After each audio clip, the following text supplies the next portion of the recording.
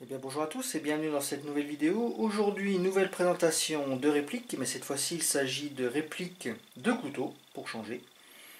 Et je remercie euh, Olivier de la boutique Airsoft Co euh, qui me les a prêtés pour que je puisse vous les présenter. Donc il s'agit du Fulcrum C Desert Warfare euh, de chez Mad Warrior, qui est en fait une réplique du couteau euh, du même modèle mais fabriqué par euh, Extrema Ratio. Alors il en existe plusieurs modèles. Euh, il y a déjà trois variantes de couleurs, le tan, le noir et le foliage green. Et il y a également une variante au niveau des lames. Donc soit lame noire, comme ici, ou soit lame camouflée, comme ici. Donc au niveau du packaging, donc ça se présente ainsi, une simple boîte en carton avec euh, le logo du fabricant. Et ici, euh, l'étiquette représentant le modèle avec la nomenclature. Donc la réplique de couteau se trouve simplement à l'intérieur.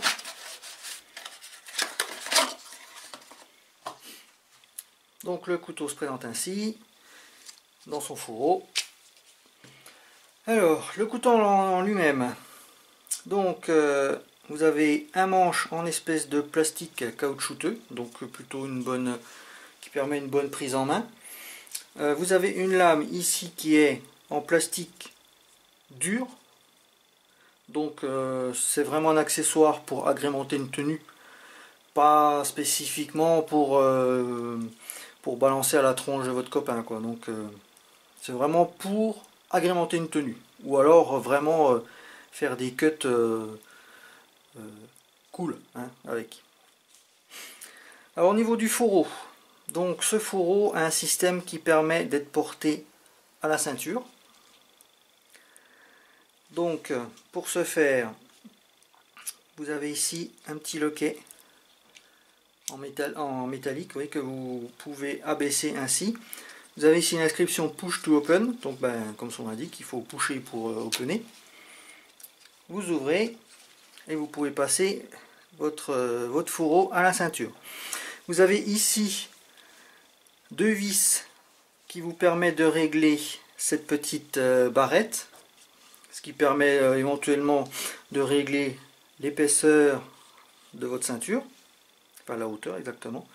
Vous avez ici une petite languette de rétention qui évite bah, que le fourreau se balade le long de votre ceinture. Donc euh, ça permet bien de solidariser le fourreau avec la ceinture. Donc.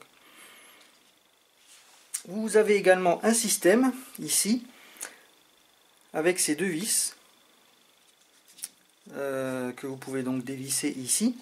Ça vous permet de régler l'inclinaison du fourreau par rapport à votre ceinture. Donc, euh, ben, suivant comme, comment vous positionnez vos, vis, ben, ça donne une certaine inclinaison.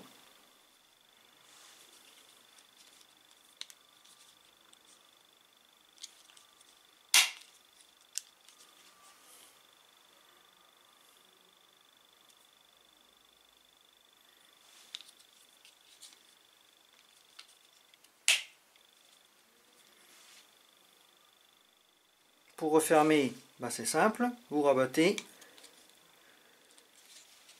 vous appuyez un petit peu, voilà, et ici vous remettez cette petite languette métallique, c'est une sécurité en fait. Ce qui fait que même si vous poussez, vous pouvez pas, vous pouvez pas l'ouvrir. Donc vous risquez pas de perdre le fourreau. Au niveau de la mise en place du couteau dans son fourreau, il suffit de le glisser. Vous avez ici, vous voyez, un petit bourrelet. C'est ce qui va assurer la rétention du couteau dans le fourreau. Donc à ce moment-là, ça force. Vous avez juste à appuyer et là, pas de problème. Ça tient, vous risquez pas de le perdre.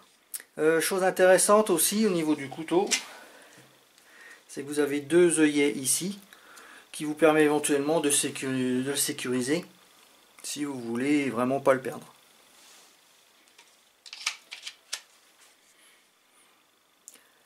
Alors en démontant le système d'attache au niveau de la ceinture, vous avez la possibilité de régler également la hauteur donc du fourreau par rapport à la tâche.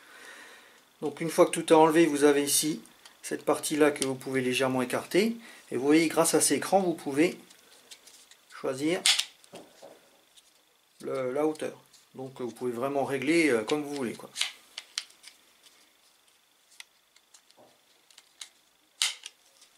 Alors petit conseil, quand vous démontez, attention à cette petite plaque qui vient se mettre entre les deux, euh, les deux mâchoires ici. Alors concernant le poids du couteau, donc poids total 168 grammes, poids du couteau seul 79 grammes et poids du fourreau 89 grammes. Alors concernant les dimensions, donc euh, longueur totale couteau dans son fourreau, on est à 23 cm. La longueur du fourreau fait 164 mm. La longueur totale du couteau fait 212 mm. Et la lame à elle seule fait 108 mm. Alors concernant la compatibilité avec les passants euh, molly, euh, en l'état comme ça, euh, non c'est pas compatible. Par contre, je pense qu'il y a moyen quand même, relativement facilement, en passant simplement un, clip euh, malice ici, un ou deux suivant l'épaisseur, euh, pour pouvoir le mettre, le fixer euh, à votre gilet. Après, à vous de jouer sur l'inclinaison au niveau de la tâche qui se trouve derrière. Mais bon, en, bricolant sans trop, sans trop de moyens, je pense qu'on doit pouvoir quand même adapter ça sur un gilet je vais vous montrer un autre modèle d'un petit peu plus près, enfin d'un autre, autre couleur. Donc là c'est une version noire avec la lame camouflée. Alors au niveau de l'insertion dans le fourreau, il n'y a pas de sens. Vous pouvez le mettre soit dans ce sens-là, soit dans ce sens-là, sans aucun problème. Donc euh, pour les droitiers gauchers, euh, du coup ça permet une ambidextrie euh, quasi complète. Et eh bien voilà, j'espère que cette euh, petite vidéo vous aura plu. N'hésitez pas à commenter, liker, à vous abonner comme d'habitude. Je remercie encore Olivier de la boutique Airsoft Co. Donc de m'avoir prêté ces répliques de couteaux pour que je puisse vous les présenter. Ben sur ce, je vous souhaite une bonne journée, que l'Airsoft soit avec vous et à la prochaine. Ciao